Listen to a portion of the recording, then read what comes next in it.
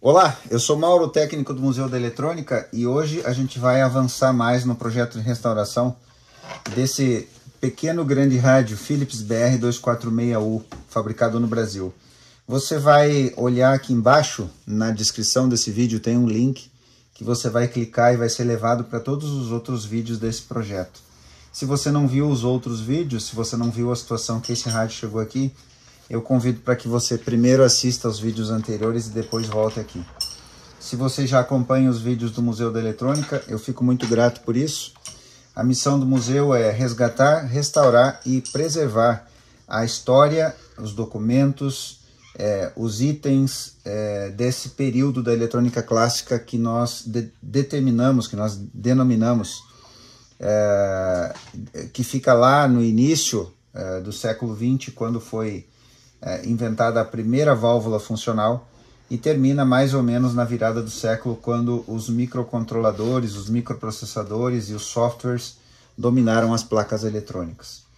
Bom, vamos falar desse rádio agora. O que, é, quais foram os últimos desafios que a gente encontrou? Se você não está acostumado com o termo restauração, aqui no museu você vai nos ver falando bastante sobre isso. Restauração é, resumindo, bem, bem resumido, restauração é devolver a originalidade o mais próximo possível de um equipamento e também uh, deixá-lo esteticamente e eletronicamente uh, funcionando e esteticamente bonito. Bom, o último desafio que nós enfrentamos aqui foi exatamente o potenciômetro desse rádio. O potenciômetro uh, clássico da Philips que praticamente equipou a maioria dos rádios dentro da mesma categoria, é, é esse, esse aqui, um potenciômetro que nesse caso desse rádio é um 450K, mas ele poderia variar esse valor, ele poderia ser 500K, ele poderia ser 1 megon, 1.2 megon, mas aqui a gente acha 450K logaritmo. Esse potenciômetro ele tem uh, uma peculiaridade interessante que é a derivação aqui para o loudness. Fica exatamente aqui. O que é essa derivação? Num determinado ponto aqui da trilha do potenciômetro tem um terminal que vai ser associado ao circuito de loudness e quando o volume chegar nesse ponto, ele vai então atuar o circuito e vai alterar a tonalidade do áudio. Se você não sabe o que é loudness, eu vou deixar aqui embaixo também, é, logo abaixo desse link que eu me referi agora há pouco para você ver todos os vídeos desse trabalho, eu vou deixar também um link para você é, clicar e aprender sobre loudness. Então esse, esse terceiro é, terminal aqui que você encontra no potenciômetro, ele é exatamente esse terminal de loudness, ou uma derivação.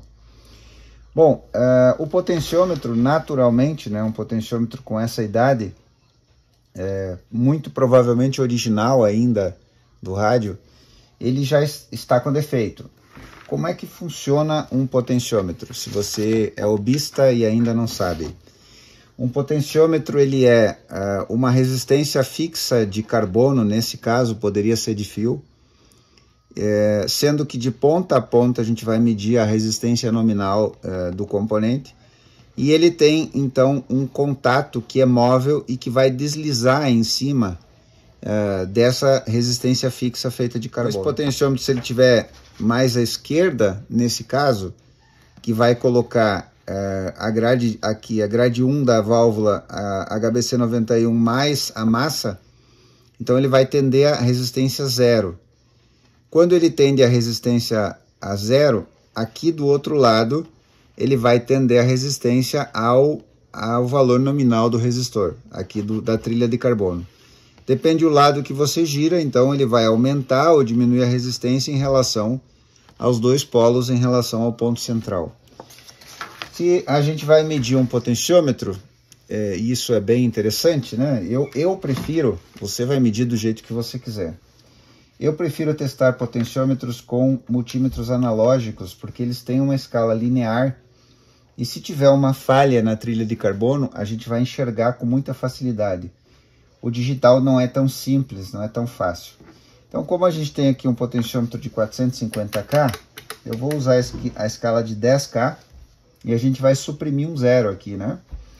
Uh, se eu usasse a escala de 1K, por exemplo, 450K iria ficar muito à esquerda, muito próximo do infinito, então a leitura não é tão precisa, a gente não consegue fazer a leitura uh, mais exata. Primeira coisa no multímetro analógico, ajusta o zero, escala de 10K, já está ajustado, e a gente vai medir de ponta a ponta agora o potenciômetro, a resistência dele. Aqui você vai, você vai, você sabe, você vai dizer isso eu concordo, que se for para me medir a resistência do potenciômetro nos dois extremos, é melhor usar o multímetro analógico, tudo bem, mas aqui eu tenho 600K. Eu posso até validar essa informação colocando no, no digital, eu já fiz isso. Então, o potenciômetro que deveria ser 450K, ele está com 600K. Está alterado naturalmente, é, é, o mínimo que a gente pode esperar de um potenciômetro tão antigo, são mais de seis décadas. Mas isso não seria um problema, porque é, iria funcionar do mesmo jeito. Por que, que a gente teve que substituir o potenciômetro? E aqui vem agora o teste que é importante para nós.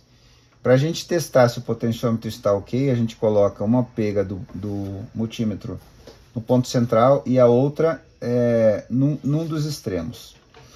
Bom, se eu girar todo para esse lado, para esse extremo que está ligado às ponteiras do, do, do potencial do multímetro, tem que ir a zero. Está indo, só que tem um problema, está falhando, olha só.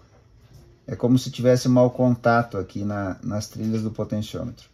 Se eu for girando agora é, para ficar mais distante, para aumentar a resistência entre o ponto central e o lateral, a terminal central e o terminal lateral, não poderia ter esse comportamento, ó. não pode tender ao infinito o ponteiro. Então essa trilha ela está com defeito, olha só, fica variando, ó, fica variando de um lado para o outro. Se eu chegar aqui no outro lado, eu deveria medir a resistência máxima do potenciômetro, que eu estou medindo o resistor do centro até essa lateral. E tá, na verdade está falhando. Eu vou mostrar para aqueles que se interessarem. Aqui tem um potenciômetro novo da Constanta, potenciômetro novo de estoque antigo. Esse potenciômetro é 15K, então eu vou usar aqui a escala é, de 1K, que vai ser mais precisa para esse caso. Ele é um valor bem mais baixo que aquele. E aí vem uma dica agora importantíssima é, que a gente vê nos vídeos acontecer e que você deveria anotar isso para é, ter isso como regra é, na sua bancada. Você pegou um potenciômetro novo de estoque antigo, esse potenciômetro tem é, aproximadamente 30 anos de fabricação. E ele é aberto, então ele pegou pó aqui dentro. Então, sempre que você pegar um potenciômetro, seja de um aparelho montado, seja fora, que você pegou lá no estoque, no gaveteiro, não gire o potenciômetro, porque tem é, poeira é, depositada em cima da trilha de carbono, e se você é, girar o potenciômetro, você vai estar tá riscando essa trilha, aquela, aquela sujeira vai espalhar lá dentro, aquele pó, e vai riscar a trilha de carbono, vai danificar ela. Então, sempre que você pegar um potenciômetro, é, uma espirradinha ou duas, ó. Duas espirradinhas do seu limpa-contato de confiança. E aí sim, você vai para lá e para cá. Aí o limpa-contato vai tirar aquela, aquele pó que estava depositado em cima das trilhas do potenciômetro. E fica até mais macio. E pronto, ok?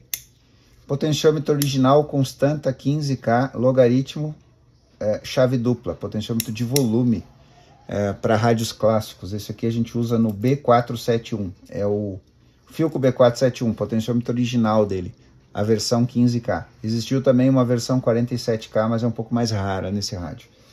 Então, agora a gente vai medir os dois extremos. A gente vai medir os dois extremos. E a gente vai ter, então, exatamente 15K. Olha lá, ó. Espero que seja visível no vídeo. 0, 5, 10, 15K. Perfeito? Agora, o que acontece? Se eu colocar aqui no centro, no centro para a lateral e eu deixar no máximo aqui, ó, deixei no máximo para essa lateral, a medida tende então a zero. Porque a, o que está acontecendo agora? O cursor, o cursor aqui, ele está fechando do, do ponto central para o ponto lateral, então vai a zero. Se eu girar agora o potenciômetro, olha o que acontece aqui. Se eu girar o potenciômetro, ele vai tender a maior resistência, a 15K. Ó. Notaram que não fez aquele comportamento do outro, que foi lá ao infinito, ficou pulsando, foi e voltou. Então, aquela trilha daquele potenciômetro está danificada.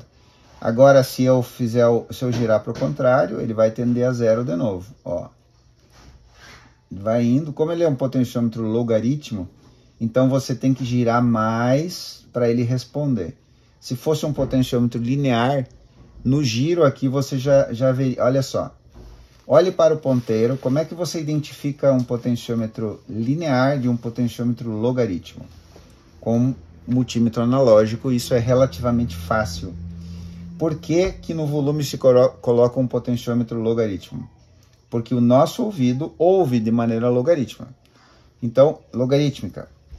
Se você colocar um potenciômetro linear é, no controle de volume do seu rádio, vai ficar desagradável, porque você vai fazer um, um, giro muito curto e o volume vai explodir.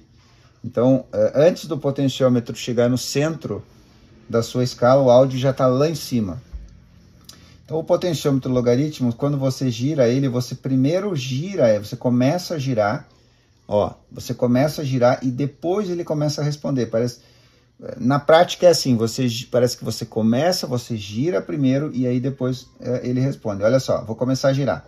Ó, comecei, comecei, estou girando, estou girando, estou girando, estou girando, estou girando e agora o potenciômetro começou a responder, ok? Então isso é um potenciômetro logarítmico, um potenciômetro para volume. Se eu colocar do outro lado, se eu colocar aqui do outro lado, agora está lá em 15K, lógico, né? Porque como o, o cursor central está todo para esse lado, então o multímetro está medindo do centro para a extremidade. Ele está medindo a, a, toda a resistência da pista de carbono que está aqui dentro. Se eu medir o cursor, se eu girar o cursor ao contrário, olha só, eu, eu estou girando e, de, o, e agora o potenciômetro está respondendo. Então eu giro para o outro lado, ele vai tender a zero. Ok? Bom, essa é uma primeira uh, dica em relação a potenciômetros que você vai, uh, a partir de hoje, se você não tinha esse cuidado, você vai colocar o limpa-contato, não vai mais deixar acontecer é, de você mesmo danificar. E quando você receba, receber um aparelho clássico na sua bancada, seja de trabalho ou seja de hobby, você não vai mais mexer nos potenciômetros de volume e tonalidade sem antes colocar o limpa-contato nesse equipamento. Mas nós temos agora um desafio, substituir um potenciômetro original da Philips de 450K, eixo longo metálico, é, por outro potenciômetro. Logicamente que isso não existe, é, se isso aqui se existia é mosca branca, só vai encontrar provavelmente na Europa, teria que comprar pelo eBay e o valor seria proibitivo. Então o que a gente fez? Nós pegamos um potenciômetro igualzinho a esse, um, um constanta logaritmo de estoque antigo, de 470K, que é um valor comercial, na época eram, foram muito produzidos esses potenciômetros de 470K. E agora, como resolver a questão do eixo? O eixo funciona assim, o potenciômetro estava colocado aqui, essa peça vai aqui, que é quem faz a troca da tonalidade. Ela tem duas posições, ó, para um lado e para o outro lado, para fazer a troca da tonalidade, ó. Ela gira a chave da tonalidade, como eu já falei no vídeo anterior.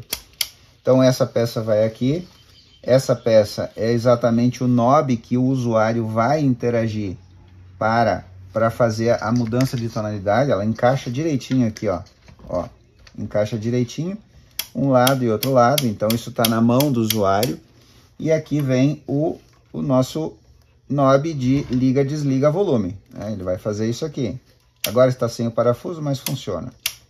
Então ele vai, como ele está sem o parafuso, eu não vou conseguir ajustar, não é problema. Bom, como fazer isso, esse eixo longo metálico? Bom, a, a dica E a solução desse problema, desse desafio, restauração é, é carregada de desafios. Se você acostuma, se você já assiste os vídeos do canal, você já me viu falando isso várias vezes. A inspiração veio desse eixo original de época, um eixo antigo, que se usava nesses casos, quando a gente tinha um potenciômetro que o eixo não era, tinha que ser substituído o potenciômetro, o eixo não era suficientemente comprido, então existiam esses, essas peças aqui feitas de metal com uma com um parafuso para que você coloque lá e aqui coloca o knob, é um extensor, né? um, extensor, um extensor de potenciômetro. Só que nesse caso não tinha como pegar esse potenciômetro aqui, eixo plástico, cortar e colocar isso aqui, porque tem todo esse mecanismo da tonalidade. Então nós fomos num torneiro mecânico, levamos o, o potenciômetro original e ele fez no torno, então essa peça que é uma réplica, é um clone desse eixo original do potenciômetro do Philips. E aí nós então colocamos ali e agora está preso ali, né? Ela está, a gente optou, poderia ter colocado no parafuso, sim, mas a gente optou por colar com epóxi porque isso aqui é definitivo. Se caso algum dia tiver que trocar esse potenciômetro, tira o parafuso, é, descarta esse potenciômetro, coloca outro e é, pode até usar o mesmo eixo, não é problema. Não tinha como colocar um parafuso aqui, porque tudo é muito apertadinho aqui, as, as, as partes. Esse knob, por exemplo, da tonalidade, ele já entra muito próximo aqui. É tudo muito próximo. Então, tinha que ser feito desse jeito e aí a gente obteve sucesso ao fazer a, uma réplica da tonalidade e do liga-desliga volume. Bom, aqui está então o potenciômetro, potenciômetro novo já colocado no lugar, já com a parte de que vai interromper a tensão alternada na própria chave do potenciômetro, as, os dois eh, fase neutro, né? Os dois eh, terminais eh, da rede estão aqui, direto no potenciômetro. Na saída dele, um vai à massa, conforme o esquema do rádio, e o outro, então, vai lá para a válvula retificadora.